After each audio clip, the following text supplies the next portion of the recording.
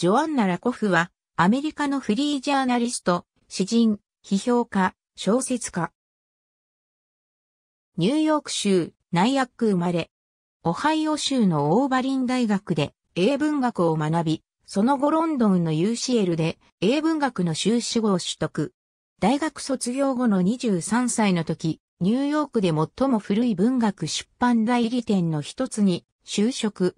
その会社はイントン作家として名高い J.D. サリンジャーの代理人を務めていることを後にラコフは知ることになる。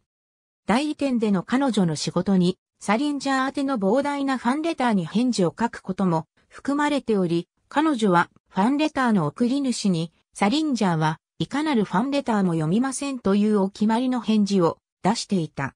彼女がその代理店で仕事をしている時に、ちょうどサリンジャーの1924年の短編小説、ハプアース16の出版中止が起きる。ラコフのこの代理店での様々な経験、そしてサリンジャーとの出会いについては後に、彼女の回顧録、サリンジャーと過ごした日々で詳しく語られることになった。ありがとうございます。